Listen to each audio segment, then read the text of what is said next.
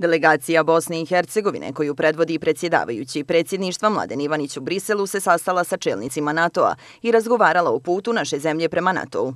NATO i dalje ostavlja mogućnost našeg priključenja ovoj organizaciji, ali se kao i u slučaju Evropske unije neće desiti dok ne ispunimo određene uslove.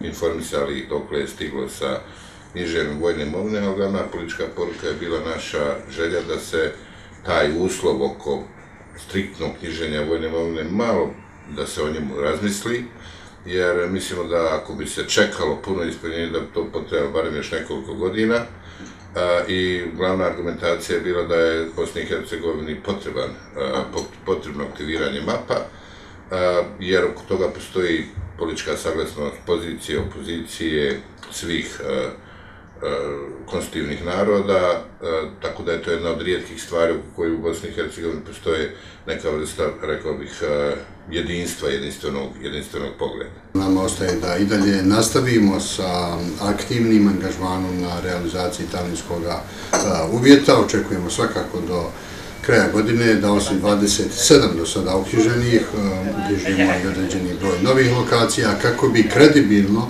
ispunili talinski uvjet. Međutim, iz manjeg BH entiteta kao i do sada stižu poruke da naša zemlja neće krenuti u NATO, dok se o tome ne izjasni narod na referendumu. Milorade Dodik tvrdi kako RS niko neće ugurati u članstvo institucije koja je nedavno granatirala srpski narod. Na taj čin nas posebno obavezuje činjenica da je NATO savez ne tako davno bombardovao našu zemlju i naš narod i da samo taj narod može da kaže da li ćemo ili nećemo ići u pravcu NATO integracija ili ne.